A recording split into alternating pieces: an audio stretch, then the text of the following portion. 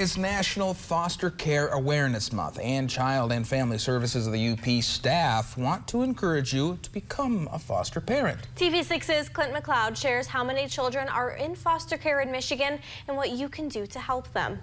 Child and Family Services of the UP says there are currently more than 10,000 children in Michigan foster care. According to the U.S. Children's Bureau, that number has decreased in the state from 12,000 in 2018.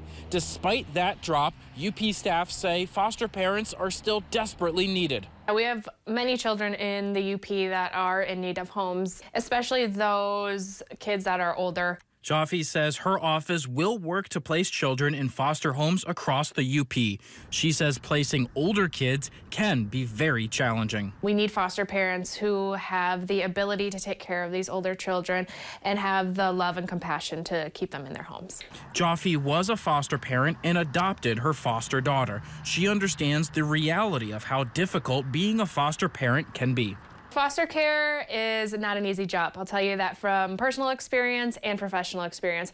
But at the end of the day, it makes all the world of difference um, for that child and that family. If you are interested in becoming a foster parent, Jaffe says you should contact Child and Family Services of the UP to begin your application. The child welfare specialist says the onboarding process will take six months before you can foster. The process um, goes from fingerprints to make sure that we know the background of these foster parents to uh, medical exams to make sure they're healthy enough to foster the children in our care, um, and also to be trained on how to be foster parents. Jaffe says the application process is extensive because they want to make sure every child is placed in a safe home.